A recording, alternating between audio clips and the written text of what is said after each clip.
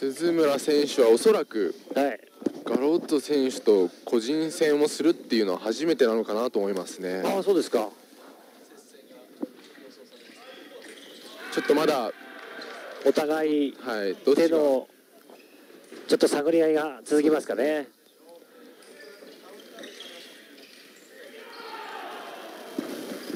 うん。しっかり相手の剣も避けれていると思うのでいい勝負ができるんじゃないかなと思います、はい。鈴村選手は攻撃が得意な選手ですね。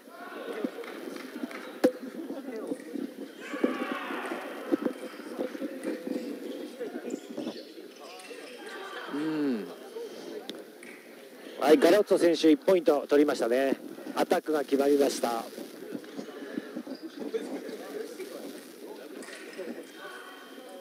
そうですね。ガロット選手もアタックが得意な選手なので、はい。えー鈴村選手はアタックに行った方がいいのかなと思います。ああこちらに敷根隆弘選手が解説で来ていただいてます。ああいいアタックですね。今のような感じですね。そうですね。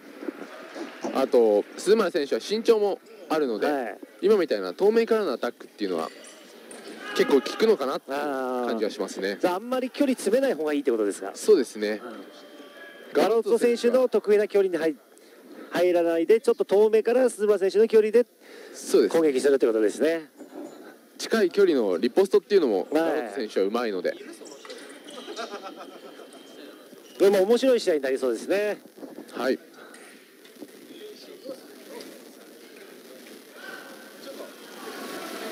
あごめんなさい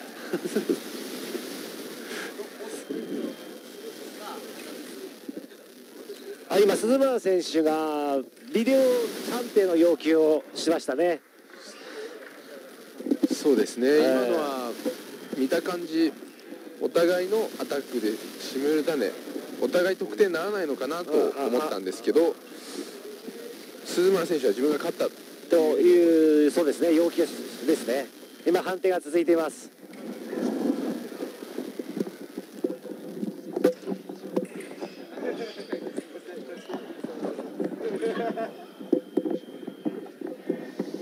あやっぱり同時攻撃でどちらにもポイントが入らないです。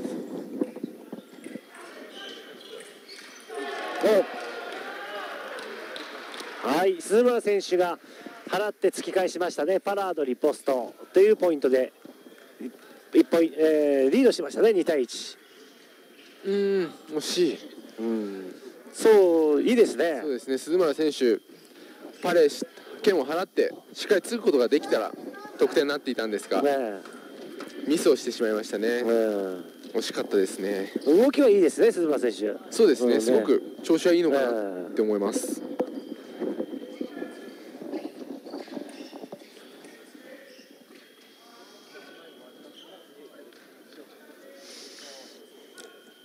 こちらグリーンピスト日本の鈴村選手が試合していますこの勝者がベスト16に進出するということですね。あ鈴村選手のカウンターアタックが決まりました。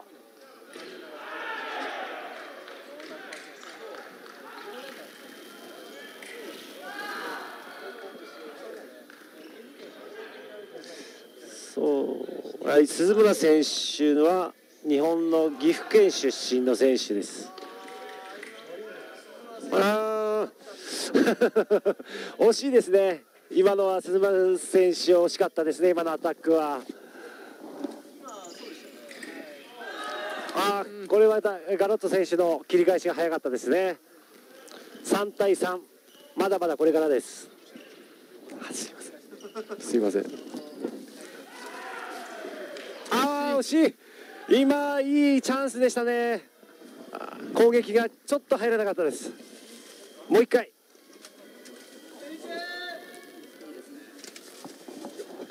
あガロッツ選手イエローカードが出ましたね今。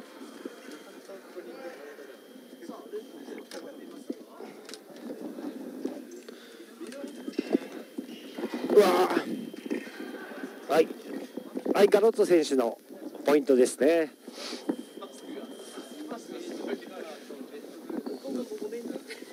イタリアガロッツォ選手はリオオリンピック男子プルーレの金メダリストですね。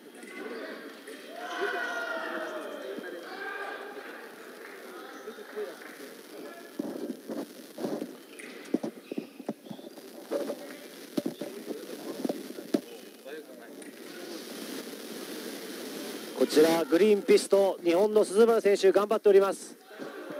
皆さん応援お願いします。うん危ない。惜しい。まだまだこれからですね。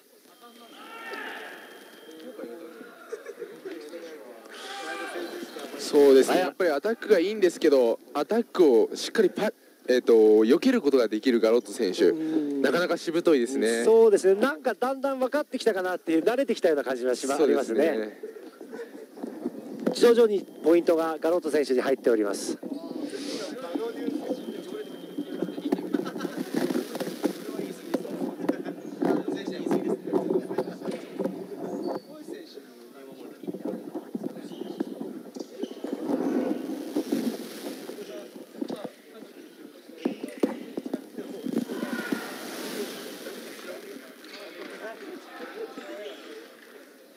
おーいアタック攻撃が決まりました。鈴村君の得意な攻撃ですね。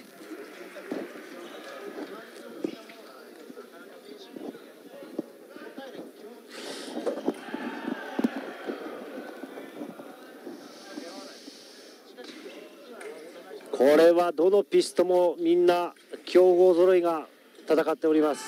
こちらグリーンピストです。日本鈴村選手。頑張ってます。うん、ねガロット選手のポイントです。こポイントですね。攻撃です。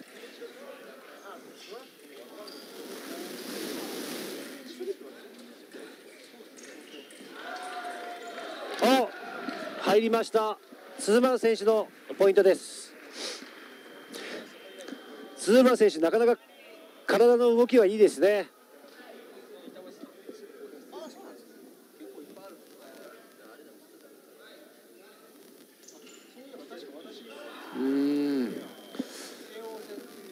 やはりアタックがうまい選手ですねうん。あのまあ、鈴村選手の足が止まってしまっているうん。そこにそうですねうまく持ってストレートで入ってきましたね。ガロット選手は攻撃も、えーし防御もどちらもバランスがよくそうですね行いますねはい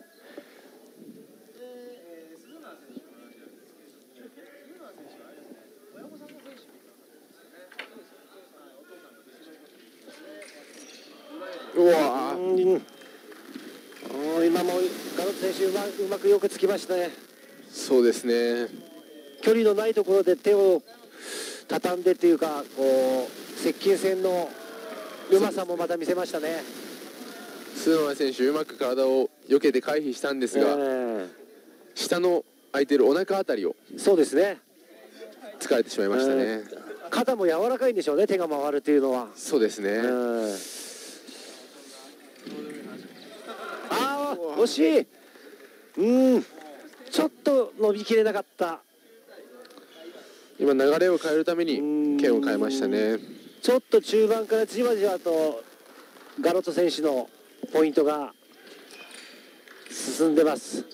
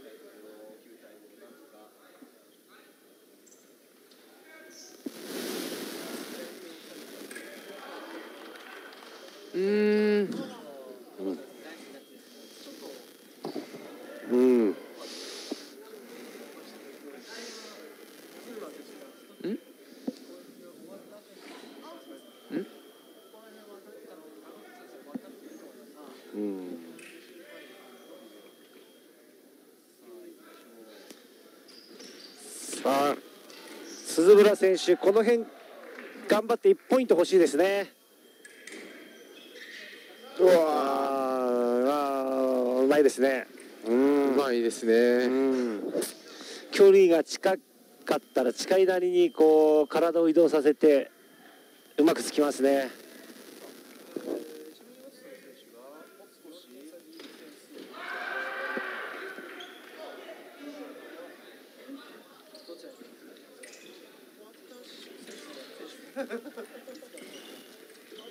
おうんいい攻撃ナイスアタッです。クです鈴村選手のポイントが入りました。さあここから追い上げてほしいですね。かなりあのこのぐらいのハイレベルな対戦になってくると、そのビデオを要求するところもかなり微妙なところになってきますから、おーまたこ鈴村選手の攻撃が入りましたね。はいいいアタックいい形です。得意な形ですねややっぱりあれですか、えー、敷根選手ガロット選手と対戦したことありますか？そうですね。個人戦ではないんですけど団体戦でありますね。やっぱりこうこうバランスの良さとか感じますかね？対戦してて。そうですね。やっぱり今みたいなあのーあ脇腹にええ。持ってくるポイントを持ってくるのがうまいのであー。やっぱ下がるよりも、えーと前に出た方がいいそうですねね得点を稼いでるアタックでいった方がいいな、え自分もそのアタックで得点を稼いだ記憶があるので。そうですか。そしたら鈴村選手アタックでいきたいですね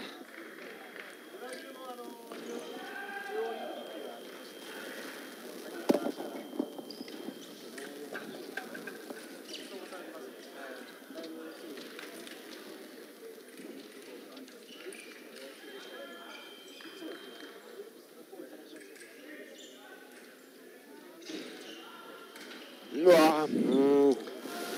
あのガロット選手のアタックもまたキレキレがいいですね。そうですね。同じ脇腹のアタックでしたね。あーあれが得意なんですね脇腹のアタックが。そうですね。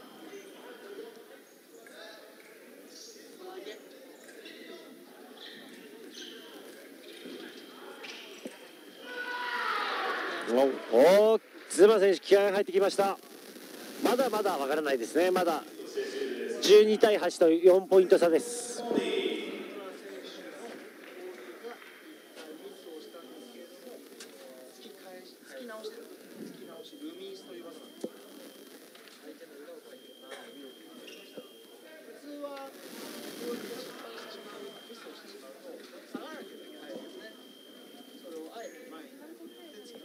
さあグリーンピース始まります。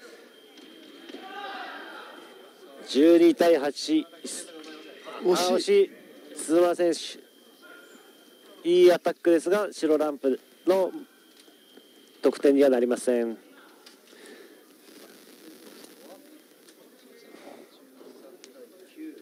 ちらも4点差ですねなかなか埋まらない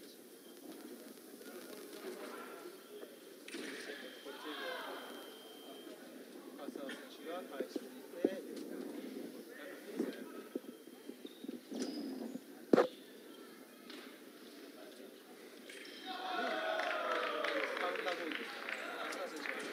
うーんはい今のガロット選手のアタックのタイミングもうまいですね。そうですね。あそこ迷わず入りますね。逆に鈴村選手は迷ってしまいましたね。そうですね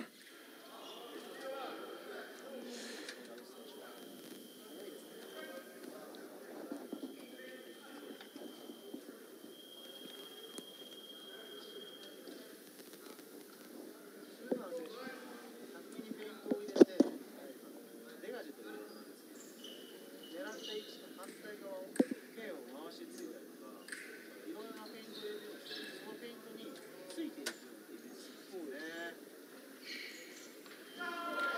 うーんうん今のは鈴村選手のアタック攻撃かなとも見えるんですけど一旦止まったかなというそこの辺がビデオ判定に今なりましたね、そうですね、えーおそらくすはっきり止まったわけではないので。そうですね。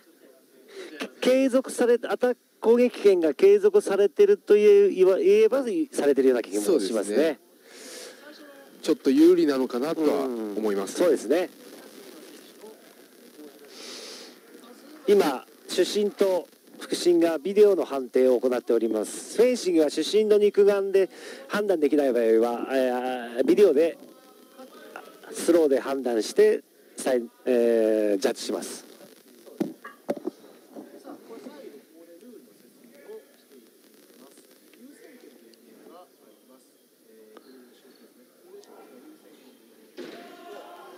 おおあ。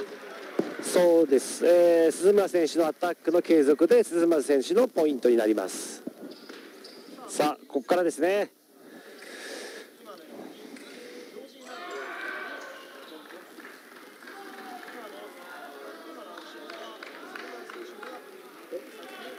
ここで1ラウンド終了ですね。1分間のハーフタイム。その後に2セット目に入ってきます。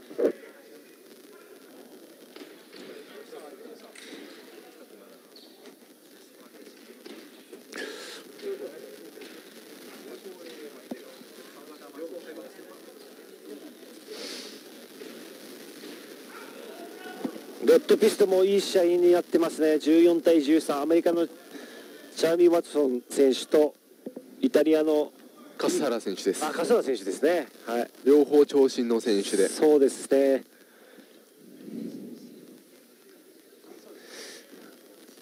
やっぱり長身選手というのは日本人選手やってみてどうですか？そうですね僕自身その長身選手は苦手です、あね苦手ですか？はい。やっぱり距離が遠いところからついてきますか？そうですねあと自分のアタックっていうのも思いっきり打たなきゃ届かないすごく疲れる試合になってしまいますねそうなのですね。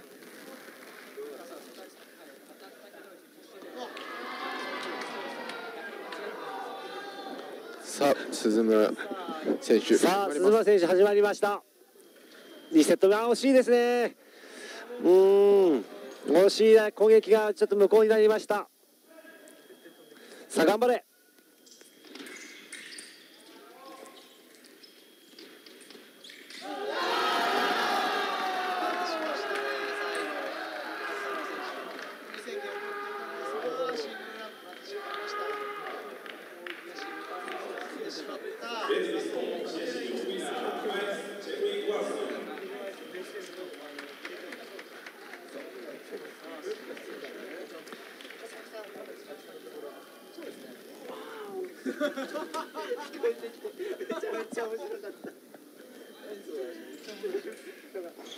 さあ始まりました鈴村選手。あー今のはですね。ルミースという、えー残り剣ですね。剣が残ってました。うまいですねあの辺も。さあ頑張れ。あ惜しい。うん。うんお互いが剣をそうです。当ててこれそうですね。鈴村選手の攻撃かガロッツ選手が払って突き返したかっていうところの、えービデオの判定ですね。まあ、おそらくお互いが同時だったと思うのでうん。得点はないのかなって気がするんですけど。そうですね。どちらにもどっちも取れそうなですね。そうですね